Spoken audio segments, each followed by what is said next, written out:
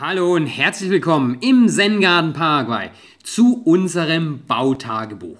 Und Sie sehen schon, das Highlight dieser Woche ist, dass das Erdgeschoss von den ersten beiden Doppelhaushälften bereits so weit fertig ist, dass die Zwischendecke nächste Woche gegossen werden kann.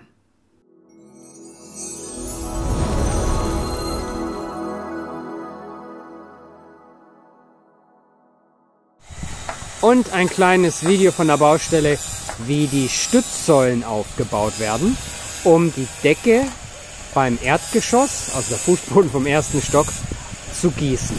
Man sieht es hier, beim ersten Haus sind die Stützsäulen schon fertig und bei der Orchidee, der zweiten Haushälfte, da ist man gerade dran und baut sie auf. Ja, in Paraguay alles richtig tolle Handarbeit. Stütze für Stütze wird individuell zusammengeklopft und aufgebaut. Am Ende sieht es dann so aus. So, und jetzt mal ein ausführlicher Film über den Roro-Bau, den wir hier haben. Ja, die, die Decke wird übermorgen gegossen. Hier ist schon alles vorbereitet. Das heißt, wir sehen hier, da sind die ganzen Säulen, das ist das Fundament für die Mauern, das ist alles schon da. Die, es wird hier wunderbar mit Hand gegossen, wenn ich das so formulieren kann.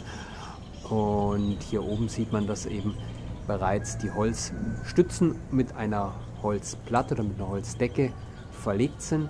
Darauf sind natürlich dann die Stahlträger verlegt und das Ganze wird dann eben mit Zement noch ausgegossen.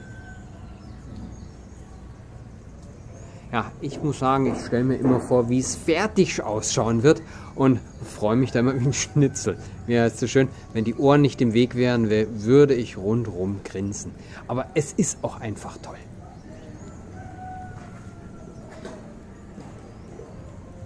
Ich meine, es ist auch ganz was anderes, wenn man, ich sag mal, mit eigenem Auftrag baut, man hat die Pläne ja, mitgestaltet, entworfen und dann wird nach eigener ja, Vorstellung das Ganze auch umgesetzt und es fängt an, eins zum anderen dazuzukommen. Das ist einfach eine ganz, ganz tolle Sache.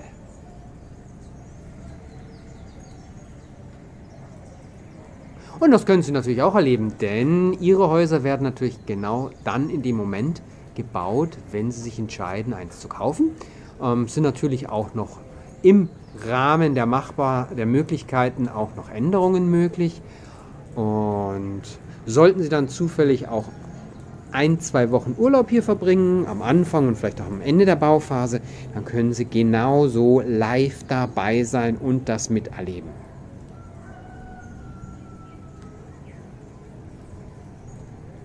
Ja, zu dem Zeitpunkt werden dann auch, wie gesagt, diese beiden Häuser schon fertig sein und sind dann auch zu mieten. Das ist die Idee von den ersten beiden Häusern, die werden vermietet. Und das heißt, dann könnten Sie sich natürlich auch hier einquartieren, wenn Sie das wollten.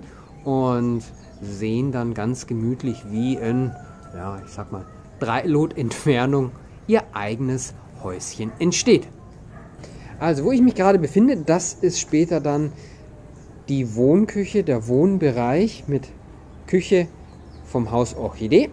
Das heißt, hier ist die Küche geplant, hier ist das Wohnzimmer geplant, hier geht es dann raus in die überdachte Terrasse. Wie gesagt, schön große Terrasse. Mit, überdacht wie gesagt, mit Decke drüber. Das heißt, bei Regen, bei Sonne, sie ist immer benutzbar. Und das ist einfach das Schöne hier in Paraguay, dass die Temperaturen ganzjährig es gestatten, dass man auf der Terrasse sitzt. Je nachdem, wie viel Temperatur man mag, ähm, Manchmal eher in der Vormittags, manchmal mehr um die Mittagszeit und manchmal eher am Abend. Also im Sommer ganz konkret frühstücken wir immer sehr, sehr gerne draußen und abends sitzt man auch wunderbar lange draußen. Während der Mittags- und Nachmittagszeit hm, eher weniger, da geht man eher rein, weil es zu warm wird im Sommer und im, in den Übergangsmonaten, also Herbst und Frühjahr, da können sie ganztägig draußen sein und im Winter natürlich dann eher mehr um die Mittags-, Nachmittagszeit, wo man draußen ist, früh und abends dann eher nicht. Wobei, möglich ist es, es hat auch wie gesagt im Winter tagsüber, also in der Früh abends, kann es gut und gern auch seine 20 Grad haben. Hört sich viel an, wenn man in Deutschland lebt, aber was habe ich gelernt? Es ist nicht die Temperatur, sondern der Temperaturunterschied, der das Gefühl kalt und warm macht. Und wenn Sie hier im Sommer immer so um die 40 Grad, sagen wir 35 plus minus gewohnt sind, dann sind 20 Grad im Winter einfach frisch. Unglaublich, aber wahr.